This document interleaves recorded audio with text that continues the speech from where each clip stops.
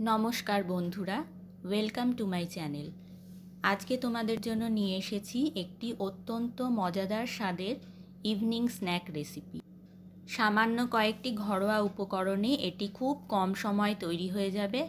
বাচ্চাদের বিকেলের জলখাবার হিসেবে অথবা চায়ের সঙ্গে টা হিসেবেও এটা দারুণ জমে যাবে। তো এটা তোমরা একবার বাড়িতে নিশ্চয়ই ট্রাই করে দেখো। আর প্রথম থেকে শেষ পর্যন্ত ভিডিওটা দেখতে থাকো। আশা করি তোমাদের ভালো লাগবে। তোমরা তোমাদের পছন্দ অনুযায়ী উপকরণে অদল বদল ঘটাতে পারো। এটা একটা আইডিয়া মাত্র। তো শুরু করা যাক আমার আজকের রেসিপি প্রথমেই আমি একটা কড়াইতে খানিকটা পরিমাণ রিফাইন তেল নিয়েছি। তাতে আমি সর্ষে ফোড়ন দিয়েছি। আর আমি দুটো শুকনো লঙ্কা ফোড়ন দিয়েছি। এক্ষেত্রে তোমরা চাইলে কারি পাতাও ফোড়নে দিতে পারো। আমি এখানে কারি পাতা ফোড়ন দেইনি। এবারে আমি আদার কিমা করে রেখেছিলাম, সেটা দিয়ে দিচ্ছি। আর দেব খানিকটা পরিমাণে কাঁচা লঙ্কা কুচি। এটা কিন্তু একদম সম্পূর্ণ ভেজ একটা স্যান্ডউইচ টাইপের বলতে পারো। তো সে, সেজন্য আমি এখানে পেঁয়াজ, রসুন এগুলোর ব্যবহার করিনি, তোমরা চাইলে করতে পারো। আমি এখানে আলু কিউব করে কেটে রেখেছিলাম, আমি সেগুলো দিয়ে দিচ্ছি। এখানে বিভিন্ন ধরনের ভেজিটেবলসও দেওয়া যেতে পারে, গাজর, ক্যাপসিকাম কুচি, বিনস কুচি। তো আমি শুধুই আলু দিয়েছি এবং দিয়ে আমি এবার এটাকে নেড়ে চেড়ে ভেজে নেব।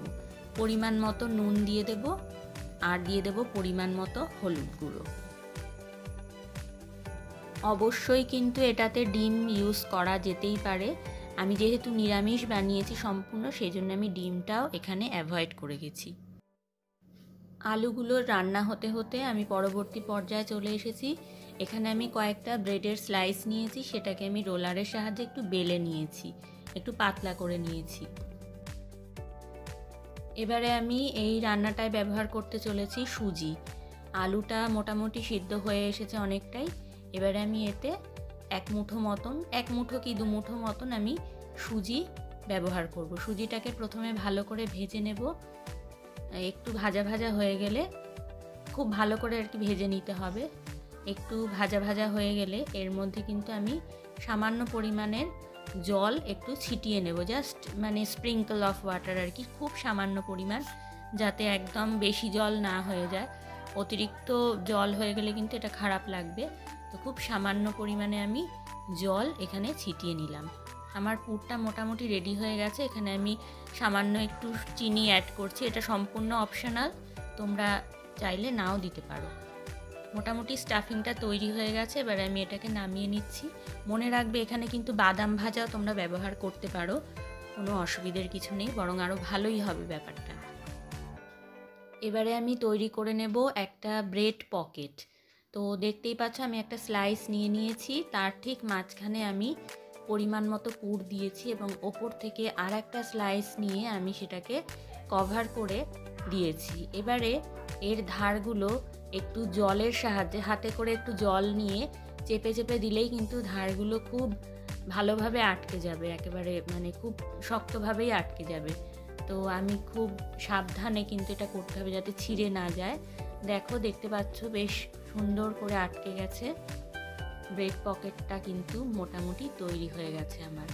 এটাকে আমি এবার একটু তাওয়াতে টোস্ট করে নেব। এখানে অয়েল বা বাটার যে, যেটা খুশি তোমরা দিতে পারো, আমি সাদা তেলই দিয়েছি। আমি বললাম যে, একদম সম্পূর্ণ ঘরোয়া উপকরণ দিয়ে আমি তৈরি করব। আলু আর ব্রেড একটা খুব সহজলভ্য উপকরণ আমাদের সবার বাড়িতে নিশ্চয়ই থাকে। তো এগুলো দিয়ে নিত্য নতুন নানান রেসিপি কিন্তু তৈরি করাই যায়।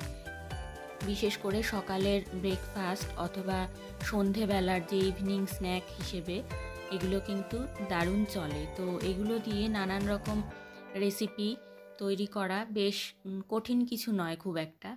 একটু এদিক ওদিক করলেই খুব সুস্বাদু ইভিনিং স্ন্যাক তৈরি হয়ে যায়। তো আমিও একটা সেরকম ট্রাই করেছি। তোমাদের যদি ভালো লাগে তাহলে কিন্তু তোমরা ভিডিওটা একটা লাইক করে দিও আর নতুন বন্ধুরা আমার চ্যানেলটি সাবস্ক্রাইব করতে ভুলো না। আজকের মতো এইটুকুই। পরবর্তী রেসিপিতে আবার তোমাদের সঙ্গে দেখা হবে।